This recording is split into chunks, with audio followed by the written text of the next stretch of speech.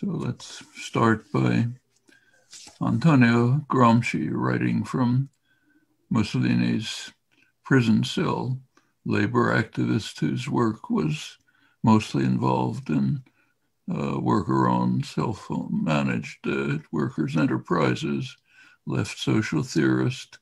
Uh, he discussed how societies tend to develop ideas and beliefs that reflect and support the prevailing structure of power, uh, creating a framework of beliefs and attitudes that becomes what he called hegemonic common sense, something we don't question. Uh, we just take for granted, uh, like uh, the air we breathe. Now, that tendency has, of course, been recognized before, was a major thesis of uh, Marxist uh, thought, uh, had much deeper origins in modern thought. Uh, one of the most interesting is uh, David Hume, great philosopher David Hume, 18th century. He wrote one of the first major works in what we now call political science, is on the principles of, on the first principles of government. And he opens it in the first paragraph by writing that I'll quote him, uh, says, he finds nothing more surprising than to see the easiness with which the many are governed by the few, and to observe the implicit submission with which men resign their own sentiments and passions to those of their rulers. When we inquire by what means this wonder has brought about, we shall find that as force is always on the side of the governed, the governors have nothing to support them but opinion. It is therefore on opinion only that government is founded. And this maxim extends to the most despotic, most military governments, as well as to the most free and most popular.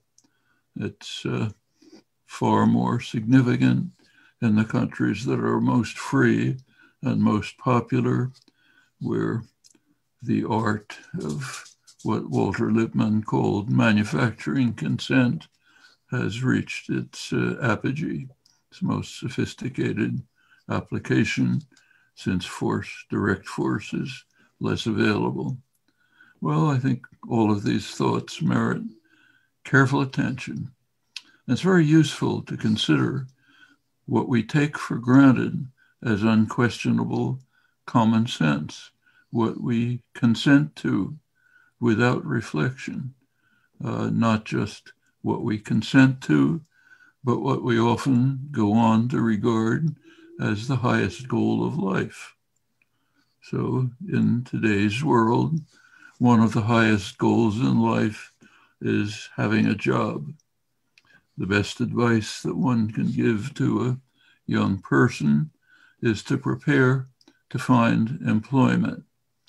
That is, to prepare to spend your waking life in servitude to a master.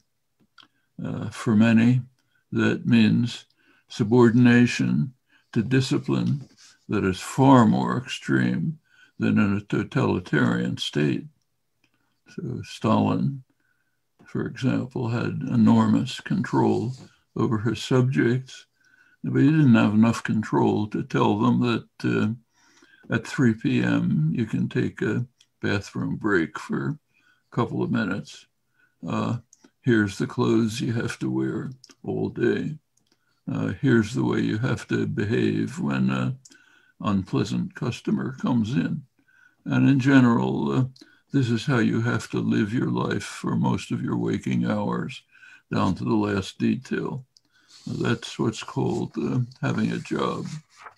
Well, all of this is quite apart from the ingenious means that have been developed and devised over the years to control the lives of the subjects, uh, from Taylorism, its origins back in the 19th century, control every motion that a working person makes up to uh, the devices that are being made available by modern technology.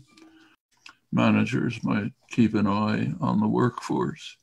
And now it is the uh, all seeing eye of some remote computer. Uh, the major delivery services, UPS and others, uh, now describe how they are increasing efficiency thanks to the new techniques of surveillance. It Means fewer drivers uh, achieving more and faster delivery. The method uh, of the new devices allow remote managers to find out if the driver stopped for a cup, a cup of coffee or backed up when he was shouldn't have done it so he can get an instant uh, notice of a demerit uh, another one and you're fired. Uh, or uh, can find out in seconds whether an amazon warehouse worker takes the wrong path and wastes two seconds let alone stops to talk to somebody. Demerit, next one, you're gone.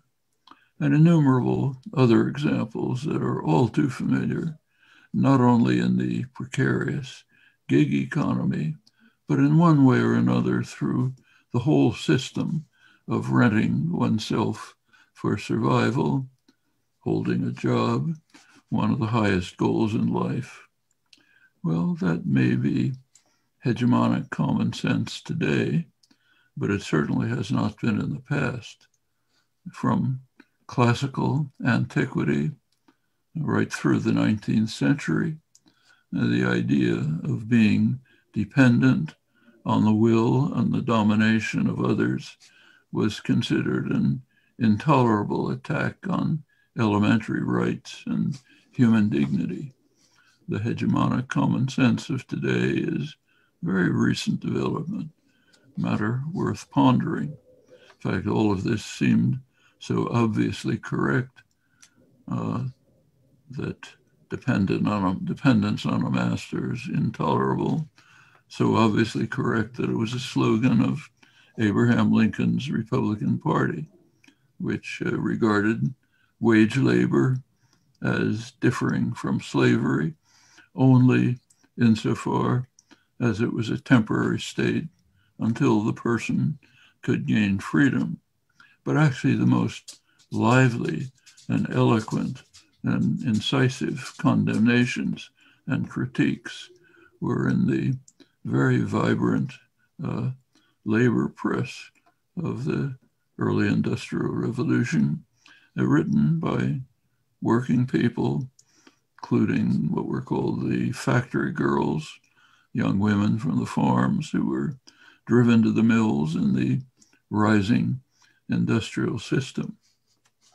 Their writings are very much worth reading. They are available often in archival forms.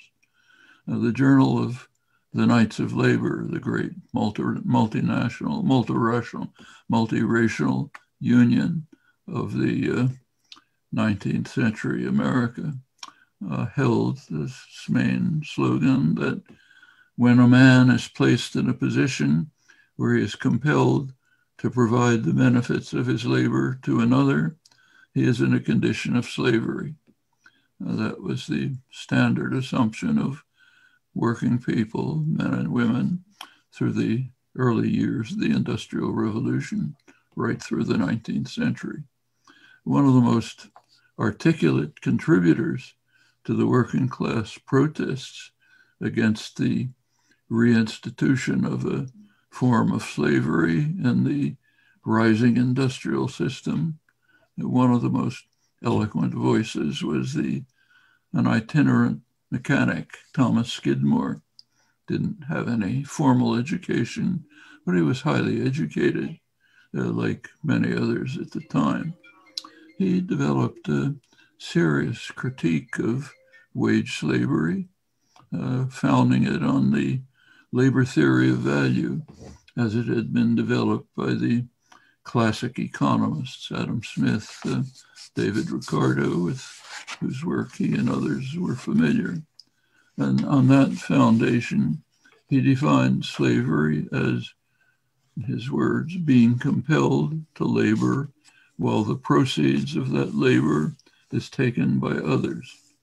And went on to argue at length that no matter how property rights are attained, they are illegitimate if they're used to make some dependent on others, allowing some to appropriate to themselves the labor of others.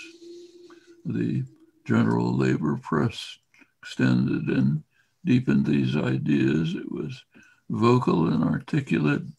It condemned, quoting the blastic inf- blasting influence of monarchical principles on democratic soil, referring to the wage contract. Uh, workers recognized that this assault on basic human rights will not be overcome until those who, in their words, those who work in the mills will own them, and sovereignty will return to producers. Then, quoting, working people will no longer be menials or the humble subjects of a foreign despot, an absentee owner, so that they will be slaves in the strictest sense of the word who toil for their masters. Rather, they will regain their citizens as free, their rights as status as free American citizens. It was recognized that the Industrial Revolution had introduced a crucial shift from price to wage. So when an artisan sells a product for a price, he retains his person. When he rents himself to a master, he sells himself. He loses his dignity as a person, becomes a wage slave in the terminology of the time. All of these ideas were very much alive, of course, after the formal abolition of chattel slavery. I stress formal because it was quickly reinstituted in 1877 as a new form of slavery, which lasted pretty much into the, to the 1930s and was the basis for the second uh, industrial revolution in the South. Um, legacy still remains. But in that context, the notion of wage slavery became very prominent. How is it different from chattel slavery? Well, uh, the idea that uh, productive enterprise should be owned by the workforce was pretty common coin all the way through the 19th century, and not just by Karl Marx and other left intellectuals, but also by the major exponents of classical liberalism. Uh, the idea was part of the classical liberal tradition of the time. Uh, one person who's brought this out eloquently in his recent work is David Ellerman in his studies of what he calls neo-abolitionism. He mentions John Stuart Mill, the most prominent classical liberal figure of the 19th century, uh, one of the great modern intellectuals. Uh, Mill argued that, I'm quoting him, the form of association which, if mankind continues to improve, must be expected to predominate is the association of the laborers themselves on terms of equality, collectively owning the capital with which they carry on their operations, working under managers electable and removable by themselves. In other words, democracy in the workplace. That's the form of association to which the human species will ascend if it continues to improve, according to the doctrines of 19th century classical liberalism. It's a concept that has very solid roots in the ideas that animated classical liberal thought from its earliest days, from John, John Locke, Adam Smith, and others. Some of the most eloquent and forceful development of these ideas was in the writings of Wilhelm von Humboldt, who was one of the founding figures of classical liberalism, uh, uh, also the founder of the modern research university. His words are worth thinking about, reading, and thinking about carefully. Uh, they're far reaching in their import. Uh, Humboldt held that freedom is the necessary condition without which even the most soul satisfying occupation cannot produce any wholesome effects. Whatever task is not chosen by a man's free will, whatever constraints, whatever constrains or even guides him, does not become part of his nature.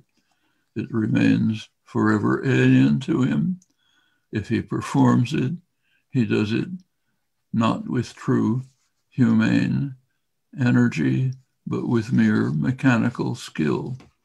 Ideas, incidentally, which Humboldt also applied to the educational system in a manner which follows quite directly from the same thoughts. He went on to say that under the condition of freedom from external control, control all peasants and craftsmen can be transformed into artists, that is, people who love their craft for its own sake and refine it with their self guided energy and inventiveness, and who, in so doing, cultivate their own intellectual energies, ennoble their character, and increase their enjoyments. This way, humanity would be ennobled by the very things which now, however beautiful they might be, degraded. This urge for self realization is man's human, basic human need, needs from childhood, as distinct from mere animal needs. One who fails to recognize this ought justly to be suspected of failing to regard human nature as what it is and of wishing to turn men into machines. To determine whether the fundamental human rights are being honored we must consider not just what a person does, but the conditions under which he does it, whether it is done under external control or spontaneously to fulfill a human need. If an artisan produces a beautiful work on command, we may admire what he does, but we despise what he is an instrument in the hands of others, not a free human being. Uh, Adam Smith uh, developed a very sharp critique of division of labor, not what he's famous for. In fact, it's interesting that in the bicentennial edition, Chicago edition of Adam Smith, the scholarly edition, there isn't even an index entry for Smith's sharp critique of division of labor, but it's there and it's founded on the same principles. Uh, Smith argued that a person who performs the same task over and over on command will become as stupid and ignorant as a human being can be, an outcome that must be prevented by government action in any civilized society. Only work that is freely undertaken, using and enhancing one's own creative powers, is an acceptable social condition. And that's the foundation of classical liberal thought. It's a very short step from these principles to the idea of control of all institutions, all communities within a framework of free association, federal free uh, organization through uh, agreed voluntary associations. Now that's the general style of very wide range of thought, including the main socialist traditions, the left uh, anti-Bolshevik Marxists, a much current activist work today of people seeking to gain control over their own lives and fate. A proliferation of worker-owned enterprises in the old Rust Belt in the United States, deindustrialized by neoliberal globalization in the interests of short-term profits of bankers and investors, uh, spread of cooperatives, uh, localization of agriculture, and many other initiatives of mutual aid with the long-term goal of creating the kind of cooperative commonwealth that was the explicit ideal of working people and farmers through the early industrial revolution. Uh, labor activists of the 19th century, late 19th century, warned of what they called the new spirit of the age, gain wealth, forgetting all but self. Uh, there have been massive efforts to instill this pernicious doctrine uh, in people's heads. Uh, the huge advertising and marketing industries spend hundreds of billions of dollars a year to achieve this goal. Much of intellectual culture and education is directed to it, and all quite consciously. If you read the press of the uh, highly class conscious business world, it warns of uh, what they call, quoting it now, the need to engage in the everlasting battle for the minds of men, to indoctrinate people with the capitalist story so deeply that they repeat it reflexively without thought. It should become common sense, mere common sense, to extol the merits of subordinating oneself to a master for one's waking life, to live a life of servitude to some foreign force. Uh, all of this was well understood by working people in the 19th century. In fact, workers in late 19th century New York warned that a day might come when wage slaves will so far forget what is due to manhood as to glory in a system forced on them by their necessity and in opposition to the feelings of independence and self-respect. They expressed their hope that that day would be far distant. In Gramscian terminology, they hoped to be able to block the efforts to, to instill a new hegemonic common sense in which workers would not only accept, but in fact glory in a system that turns them into menial and humble servants, as they put it, wage slaves under tight control, abandoning their independence for the larger part of their lives. In Hume's earlier terms, they hoped to present, prevent the imposition of the consent of the government that permits the masters to rule, whether in state or private government. Same ideas, I should mention, uh, relate to the general intellectual culture, not just the submission to a master for most of one's life. It's a topic that George Orwell wrote about it in suppressed work, work that you probably didn't read. Everyone has read Animal Farm, of course, but not very many people have read the introduction to Animal Farm, which was not published. Uh, was discovered in Orwell's papers uh, 30 years later. Uh, the, the introduction to Animal Farm is directed to the people of England. It says, this work is, of course, a satire on the totalitarian enemy, but the people of England shouldn't feel too self righteous about it because in free England, in his words, ideas can be suppressed without the use of force. His title of his work is called Literary Censorship in England, in Free England. And he gives a number of examples and a few sentences of explanation.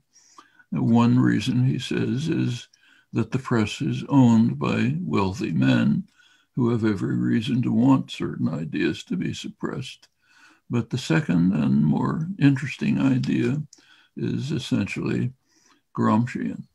Uh, if you've had a good education, you've gone to Oxford and Cambridge, you have instilled into you the understanding that there are certain things it just wouldn't do to say. We can add wouldn't do to think. That's manufacture of consent in the modern sophisticated term, the foundations of the liberal theories of democracy by Walter Lippmann, uh, Harold Lasswell, founder of modern political science, all good. Roosevelt, uh, Wilson, Roosevelt, Kennedy liberals, whose view was very much like that of the men who called themselves the men of best quality in the 18th century, the rabble, 17th century. The rabble have to be suppressed. It's none of their business to become involved in public affairs. They're too stupid and ignorant, as Reinhold Niebuhr put it. Therefore, they must, in his words, be controlled by necessary illusions and emotionally potent oversimplifications, as Lippmann put it in his progressive essays on democracy. Uh, people have a function, namely to be spectators, but not participants. Their function is to show up every couple of years, push a lever uh, to pick one or another of us, the responsible men, who have to be protected from the trampling and the roar of the bewildered herd. Now, that's liberal, progressive, democratic theory in the modern period, traces far back to the suppression of the common people in the English Revolution and, in fact, to the US Constitution which was uh, the Constitution, of course, was written by a small number of wealthy men, mostly slave owners, who nobody else could spend a summer in Philadelphia in those days. And the uh, Constitution was, uh, actually, its essence is captured in uh, the title of the leading scholarly work on the Constitutional Convention, uh, Michael Klarman's uh, book Harvard professor, called uh, The Framers' Coup, a coup against democracy. The leading framer, James Madison, understood that the public had to be kept out of governing the country. They had to stop the threat of democracy that the public wanted. Now, therefore, there was a coup carried out by the framers to ensure that democracy wouldn't function. Madison's design, power was primarily in the Senate, unelected, not elected till 20th century, uh, picked by elites. The Senate was to represent, as Madison put it, the wealth of the nation, those who recognize the rights of property owners and who understand that a prime goal of government is to protect the minority of the opulent against the majority. Uh, that's the essence of the Constitution. Uh, in Madison's defense, we should say that he was basically pre capitalist in mentality. He assumed that the wealthy men would be uh, the Roman gentlemen in the mythology of the day, uh, dedicated uh, to um, labor for the common good uh, with no self interest should say that Adam Smith at the same time had a much sharper eye. Uh, Smith described the existing situation in words that we can easily translate into today.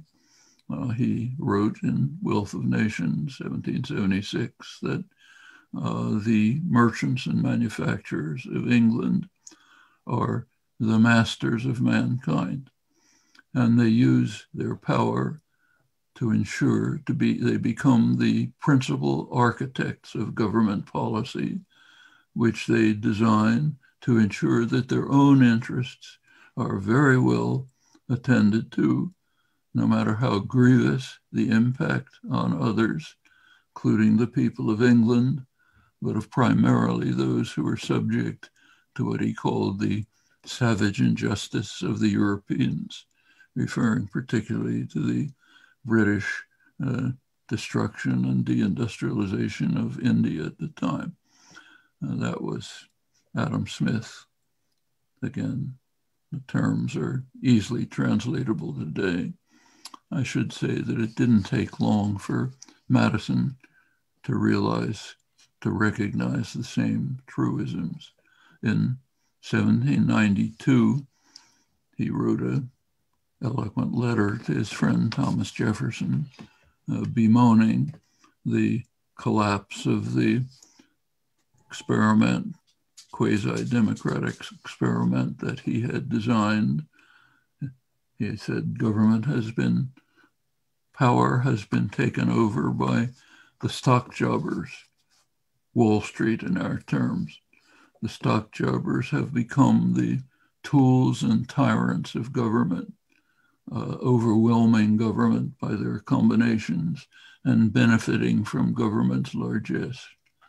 Very easy to translate that into 21st century terms. Many things in one form or another remain constant, including bitter class war waged by the highly class conscious property owning capitalist classes. Well, uh, sharp, going back to the 19th century, in very sharp reaction to these efforts to impose submission to the masters. There were very important rising movements of working people, radical farmers in uh, what was then, of course, largely an agrarian society.